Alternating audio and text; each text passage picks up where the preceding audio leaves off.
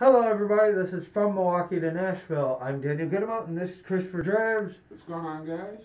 Um, our show is brought to you by the wonderful folks at Hockey Locker, 2002 West Howard Avenue, Milwaukee, Wisconsin. Get all your hockey apparel, figure skating apparel, referee apparel, inline skating apparel, your hockey fandom apparel, your everything you need hockey. It's in the title. It's everything you would want to put in your hockey locker. I agree 100%. So, uh, it's your one-stop shop for uh, all your hockey needs in the Milwaukee area. They're located at 2002 West Howard Avenue, Milwaukee, Wisconsin. You can also call them at 414-800-7585 or you can visit them at HockeyLockerMilwaukee.com. Please go there and spend money, and when you spend money, tell them we sent you. They like money. As you can see under this, I'm still wearing my Preds hat. I rock them proudly, but today, just not feeling showing my face. Kind of butchered the a little bit. Not to mention, uh, yeah. No, it's not one of those I want to hide my face things yet. We're not 16 and 48 like the, some team in Detroit. All right. Well, anyways, uh, the shots on goal weren't really a big factor. It was only like 38, 32. Uh, can't really. Well, the power play's always been an issue this year. The Preds were like one for six, which is horrible, and the Canucks they were two for four.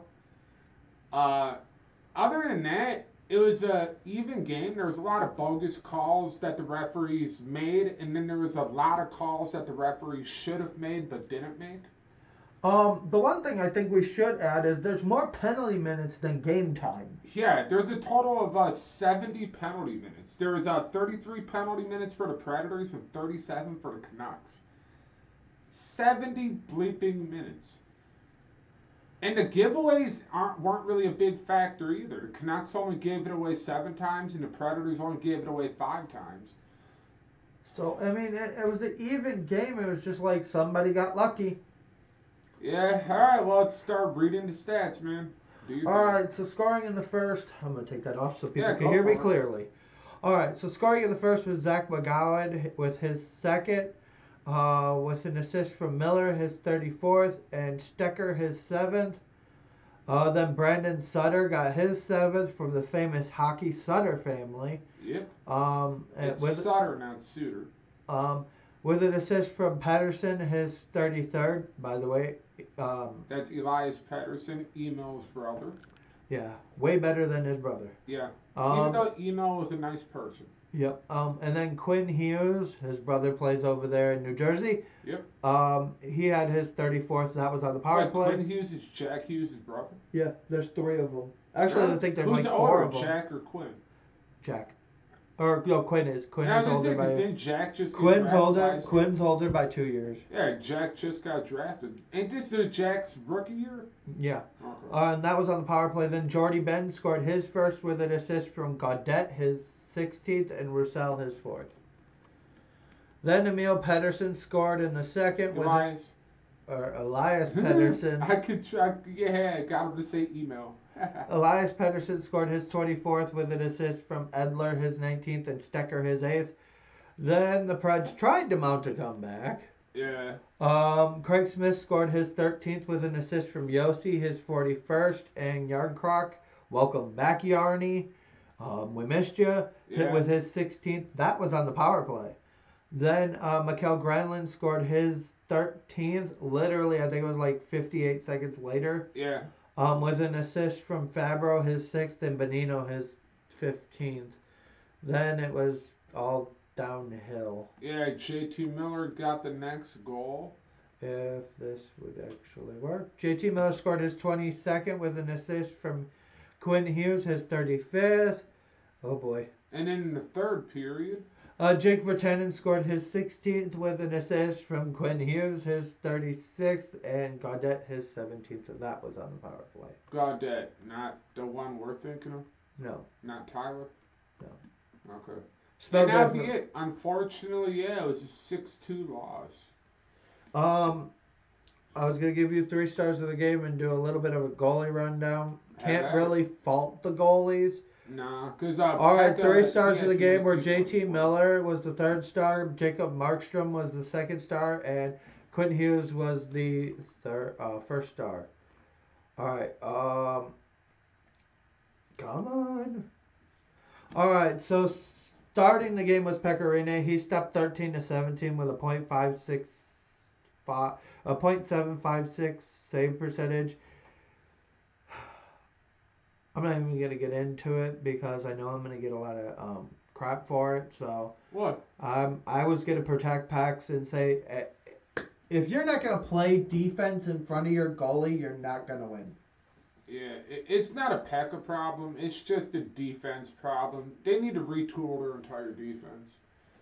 Because they didn't play defense in front of Saros either. No. Um, and then Saros stopped 13 to 15 with a .867, so neither goalie got their chance. Yeah, Pekka played uh, 20 minutes and 58 seconds, and then Saros played 39 minutes and 2 seconds.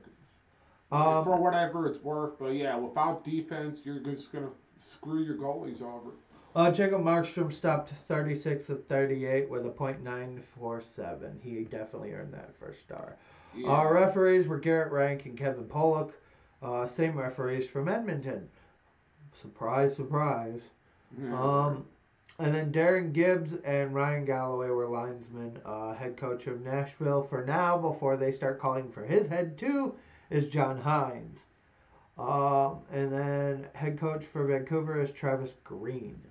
Scratches Uh, scratches. scratches for Nashville were Yakov Trenin, Colin Blackwell, and Matt Irwin. Uh, So the Admirals were scratched. yeah, pretty much. And scratches for Vancouver was Galmue, Brisebois, and Tim Schaller.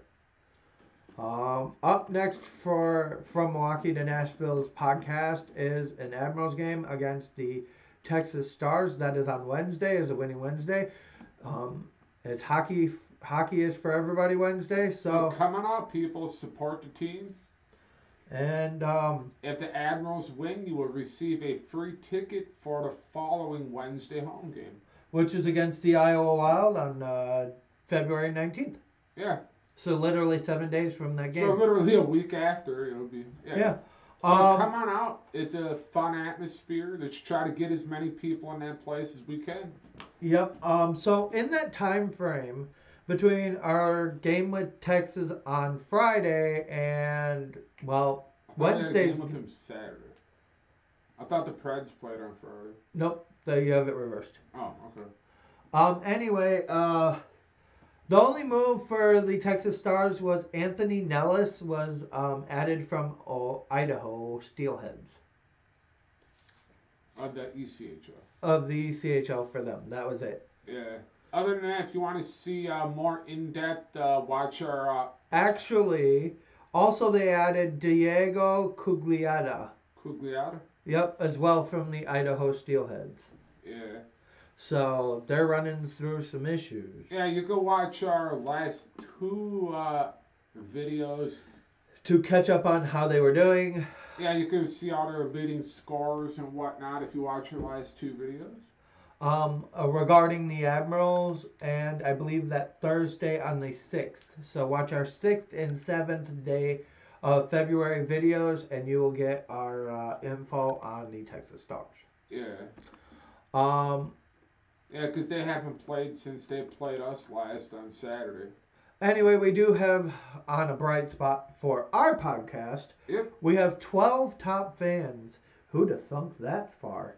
We never even thought we'd have one top fan, let alone 12. That's great to hear, though. All right, so we want to say thank you to our two new top fans, uh, Brian Turner and Eddie Callister. Trust me, I'm trying. I if I butcher your names, Please uh, send us a message we'll correct it. yep, just send me send our page a voice recorded message of how to pronounce your name, and if I butcher it, I will perfect it. Yeah.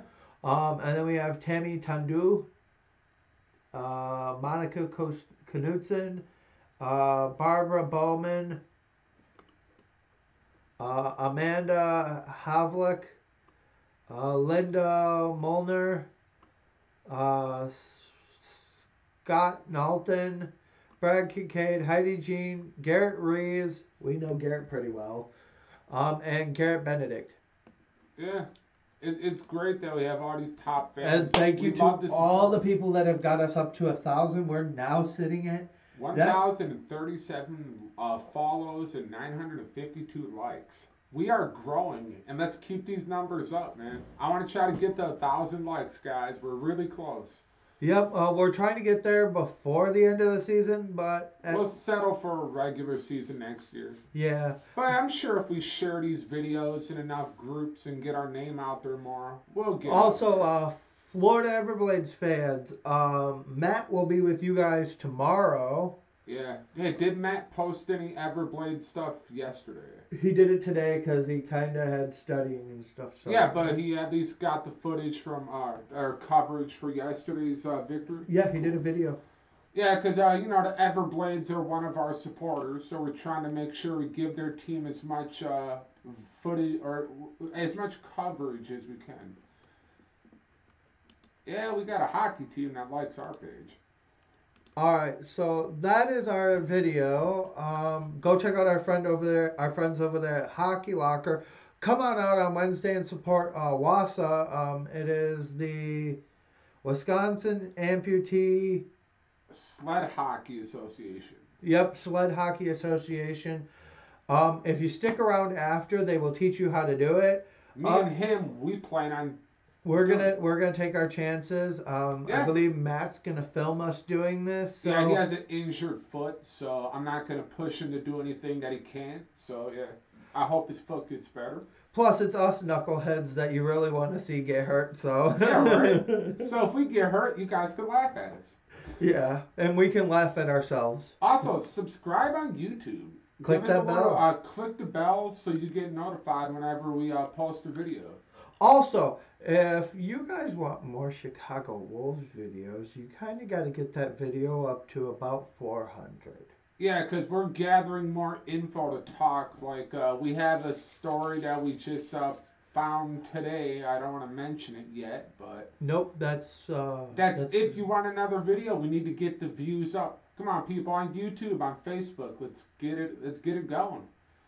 All right, so this was from Milwaukee to Nashville. I'm Daniel Goodman, and this is Christopher Draves, and we will see you Wednesday on Wednesday at the, Probably- at the Panther Arena. Remember, at the Panther. Arena, probably after um on our podcast, and very sore. So knowing us, we're probably actually not going to have this because I'm not going to want to mess with it. yeah, right. After we have some fun learning how to sled hockey.